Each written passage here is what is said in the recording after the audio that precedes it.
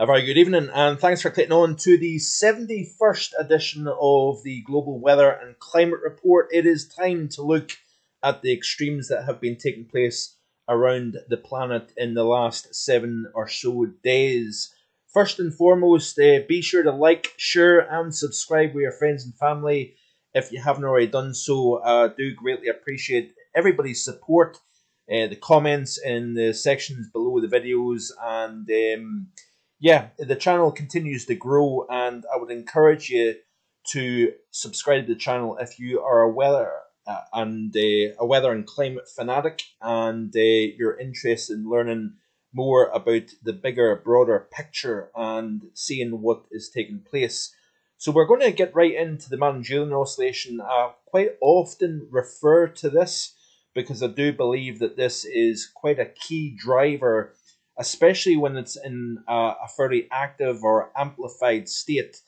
I do believe firmly that this is quite a driver in terms of the global weather pattern, actually. And we've seen a phase four and five. We're currently in that. We're seeing a strengthening of jet stream winds over the Pacific. That's in turn having an impact on North America, but also it's having an impact here in Western Europe as well when you have that MJO, that active eh, phase, uh, strong convection over the maritime continent, so Indonesia, even parts of Australia, uh, up into Malaysia, Thailand, we're seeing increased uh, thunderstorm activity. That tends to have an impact um, further north. It releases a lot of heat, and what that does is it extends the jet out of Siberia so we've got a strengthening of the jet stream. We have more cyclogenesis over the North Pacific. We've been seeing that taking place. Uh, quite stormy conditions anywhere from Alaska right the way into the northwest portion of, of the United States. We're seeing um, stormy conditions, deep areas of low pressure developing over the North Pacific. And that's all thanks to that active phase of the MJO through the maritime continent. And then that has a downstream impact on the pattern even across the North Atlantic and into the west of Europe. So we've, we've warmed things up. We had a, a very cold start to the month of December. Now we've turned things around. Uh, I believe the, the, the initial um, high latitude blocking that we've seen, the deep negative AO, the deep negative NAO, was a product of that strengthening of the MJO in phases 8 and 1 now it's progressing through phases four and five, which is the warm phase, and you can see here that we're now seeing it uh, over the western portion of the Pacific. So we're starting to see that enhanced convection now leaving uh, the maritime continent and entering the central portion of the Pacific. Now, in turn, that will have a new influence on the upper air pattern. So you notice here by the time we reach Tuesday, the 12th of December, you've now fo- focused that enhanced convection now over the central portion of the Pacific. Now, as I've made mention of in recent days, if we had a strong to super El Nino, which we I know we don't have, we've got a strong El Nino. It looks as if the El Nino region 1.2 is uh, rapidly starting to uh, weaken. I was going to say fade, but not quite.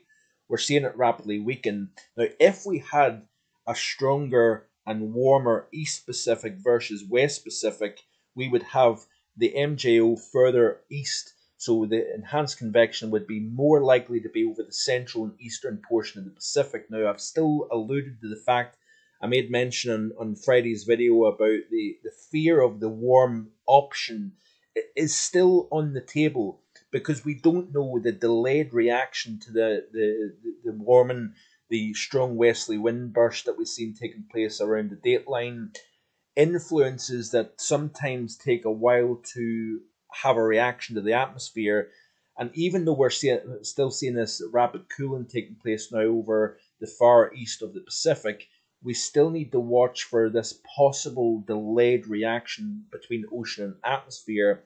What we don't want to see is the MJO and the enhanced convection being further east over the Pacific, that tends to fire up a stronger jet further north, and then in turn that sends a lot of mild ocean air into Western Europe here. So those big El Nino years, 97 and also 2015, and I, and I know I've been slightly criticised for making reference to December 2015, but I'm I'm putting everything on the table here. I'm I'm showing you everything as opposed to just giving you a biased opinion of what I want to see. I want to I want to see a cold winter like many people. Obviously, we'll have to take into consideration things like heating bills.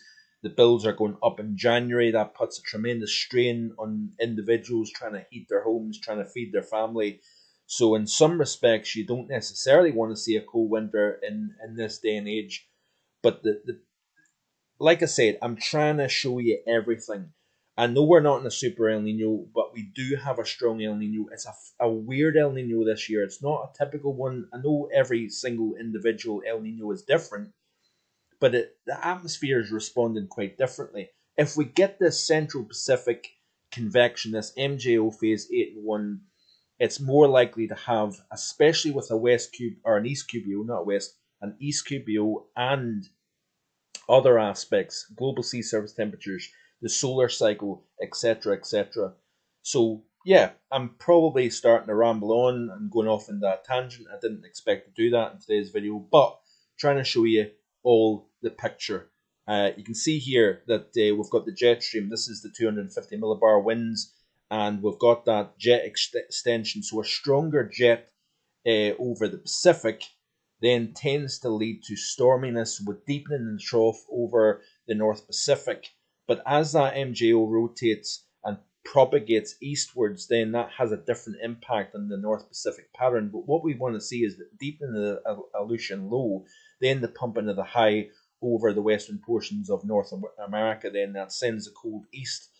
We also want to see the, the, the build up of pressure over the North Atlantic and shutting down this jet here. But this is a very phase four and five of the MJO, both over the Pacific and over the Atlantic at the moment. But it is expected to go um, into phases six and phases seven, which uh, promotes more blocking once again. So you play through this loop, you can see the jet one after another. But notice here the build-up of pressure over the North Atlantic. That's a slight change taking place.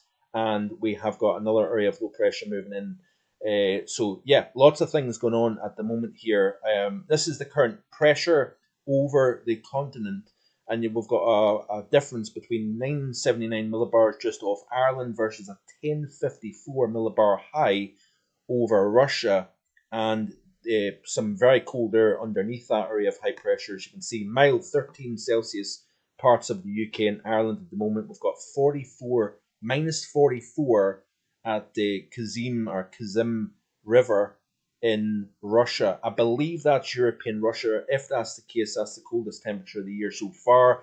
I made mention of that in yesterday's video. So very mild conditions across the west of Europe versus a very cold Eastern Europe here. Notice even Germany starting to recover from that cold spell that they had uh, along with ourselves to start the month of December. Very, very cold start of the month extending anywhere from the UK, Northern Europe, all the way across much of Russia, as you can see here. But while we had uh, some exceptionally cold temperatures to start the month, we're now seeing record warmth.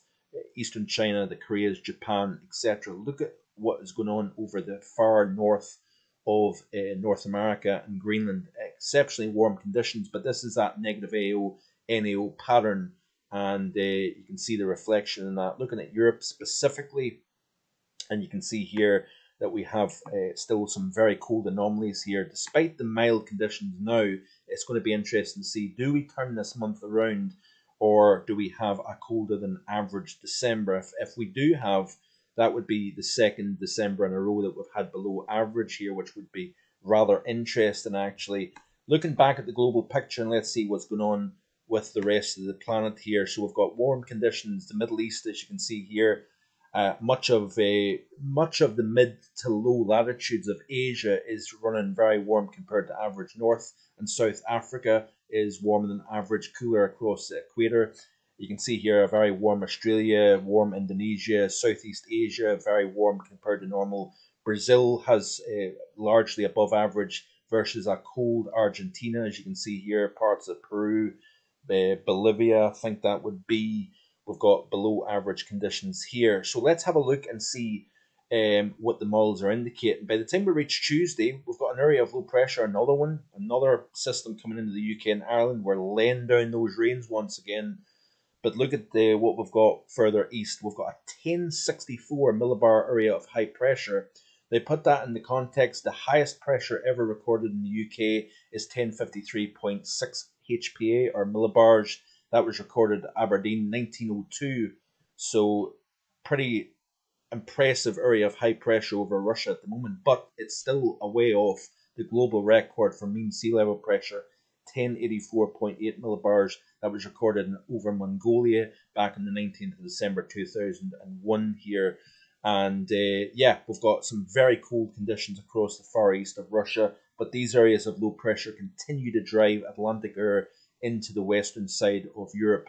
Now, looking at the precipitation, upcoming seven days, we've got wetter than average. We've still got uh, drier than average across the northwest of Scotland, as you can see here, but in Northern Ireland, eastern part of the Republic of Ireland, much of uh, eastern Scotland, the rest of the UK, wet than average, very wet compared to average across um, northern uh, portions of uh, France, much of France actually. The Low Countries, Germany, the Alpine region continues to see wet conditions but watch what happens. We dry things out significantly as we move through the remainder of December. Now let's have a look and see what the temperatures are showing here because this is uh, rather interesting with regards to the run up to Christmas. So let's go back to the day 1 through 5. You can see here slightly cooler than average Western Scotland. The rest is warmer than average, very warm compared to average across Spain, France, Low Countries, Germany, still holding on to the cold across uh, Scandinavia and Western Russia. But watch this space as we move towards the period of Christmas. The GFS ensemble has it cooling down. Nothing dramatic, but cooling down nonetheless. That would get uh, rather interesting. And is that a response to the MJO shift? Let's have a look and see what the, the 500 millibar uh, pattern is showing. This is the anomaly here. And you can see the area of high pressure kind of shifts west. So we go from a trough as you can see here, we go from a trough at the moment. Then we see the area of high pressure build over the UK and Ireland. That's also a response to the 5 4 5 in the 6 of the MJO. Then you notice the, the high retreats to the west, and that would be in the Christmas period. So we need to watch out for more of a northerly influence, colder conditions, and possibility of snow in the Christmas to New Year period. We'll look at that in a bit more detail in the coming week ahead. So stay tuned for that. Another reason why uh, you should subscribe to the channel here. Then let's have a look and see what we're looking at with regards to what's been taking place around the planet at the moment here. So let's go on Twitter. Be sure to check out my Twitter page if you're on Twitter and want to know uh, frequent updates. You can do that. So let's have a look and see what's going on at the moment here. Massive eruption here, West Sumatra in Indonesia. This was a, a huge pyroclastic flow, as you can see here. Let me know in the comment section below. Is it possible that this has an influence on the longer term climate? I would be curious to know what your thoughts are on that. I do know that there is some people that are rather clever compared to myself and uh, know a little bit more about what they're talking about with regards to that. Be curious to know what your thoughts are. But massive flooding due to a cyclone hitting the China Chennai area of India you can see here, this is at 4, four and 5 of the MJO, uh, flash flooding across parts of Java and Indonesia. Also, major hail uh, across parts of Peru. We've got more, there's that flooding. Uh, this is in Paraguay, South America here, Saudi Arabia. There's another volcanic eruption here. This time it's in uh, in Japan. Uh, record warm conditions in Ontario. We've seen big swings between warm and cold over uh, North America in recent times, Eastern China, parts of uh, Hong Kong, North Korea, Taiwan, South Korea, record breaking warm. Big contrast over uh, Australia as well. As you can see, uh, major heat, 27.8 Celsius in northern portions of China for December, ridiculous warmth.